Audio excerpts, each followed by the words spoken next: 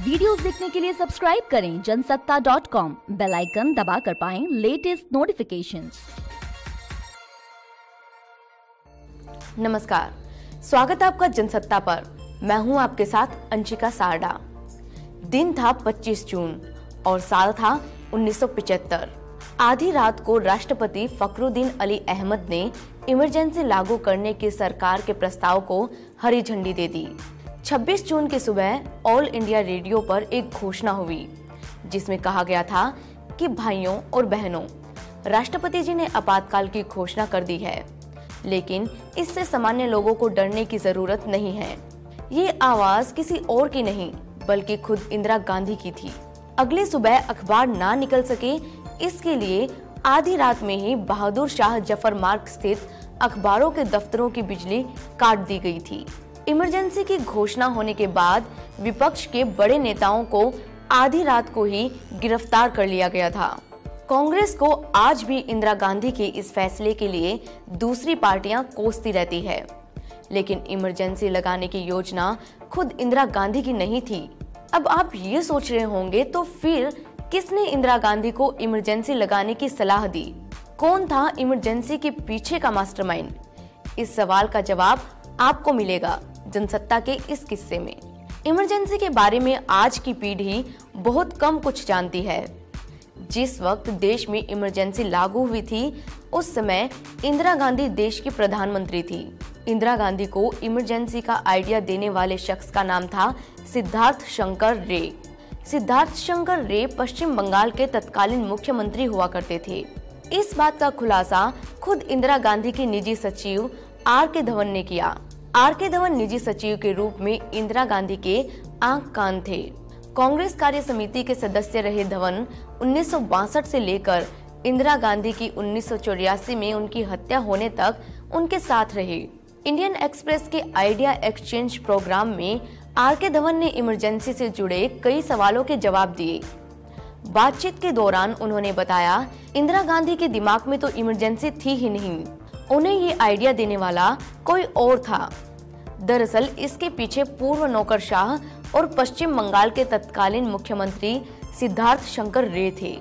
धवन ने बताया था कि एस एस रे ने ही इंदिरा गांधी को ये बात विस्तार से समझाई थी कि संविधान के ज़रिए इमरजेंसी घोषित की जा सकती है।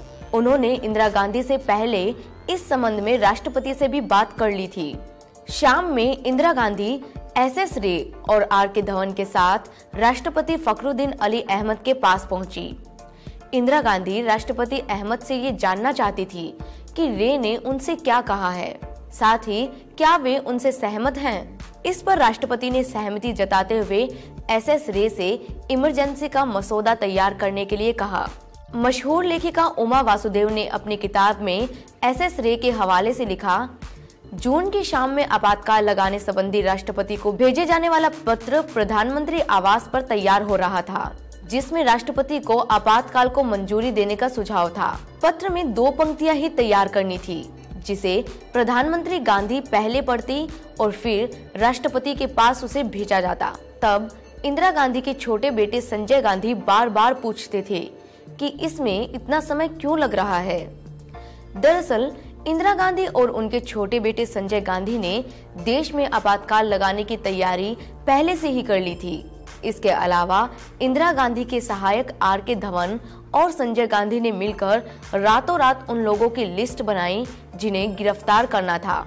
25 जून की आधी रात में इंदिरा गांधी ने अपने खास शख्स को राष्ट्रपति के पास आपातकाल के कागजात पर दस्तखत करने के लिए भेजा।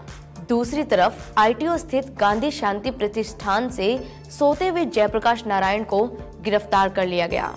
देश में इमरजेंसी का कड़ा विरोध हुआ। इमरजेंसी के बाद चुनाव हुए और इंदिरा चुनाव हार गई। उस वक्त इंदिरा को इमरजेंसी की सलाह देने वाले एस एस रे ने ही इंदिरा के खिलाफ बयान दिया। धवन ने बताया कि एस एस रे की सलाह मानने के कारण ही इंदिरा परेशानियों में फंसी थी। अगर इंदिरा धवन की बात ध्यान से सुनती तो उन्हें इस तरह की परेशानी का सामना नहीं करना पड़ता। इमरजेंसी के बाद जाँच के लिए शाह आयोग का गठन किया गया।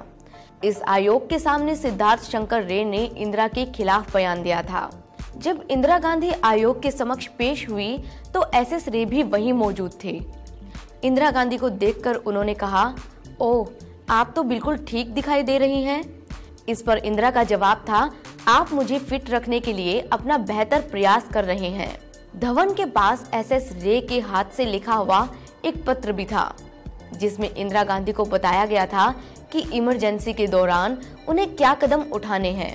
इस पत्र को जनवरी 1975 में, यानी कि इमरजेंसी लागू होने से ठीक छह महीने पहले लिखा गया था। आर के धवन की माने तो सिद्धार्थ शंकर रे ने ही इंदिरा को इमरजेंसी लगाने की सलाह दी थी।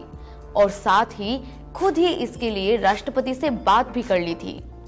लेकिन इमरजेंसी के बाद वे खुद ही इंदिरा के फैसले की आलोचना करने लगे थे। इमरजेंसी के दौरान प्रेस की स्वतंत्रता का बुरी तरह हनन किया गया था, जो कि वाकई निंदनीय था। उस समय सरकार के खिलाफ बोलने की सख्त मनाही थी। वो समय भारत के इतिहास के बुरे दौर के रूप में हमेशा याद रखा जाएगा। ये वीडियो आपको कैसा लगा, हमें कमेंट सेक्शन में ज़रूर बताएँ।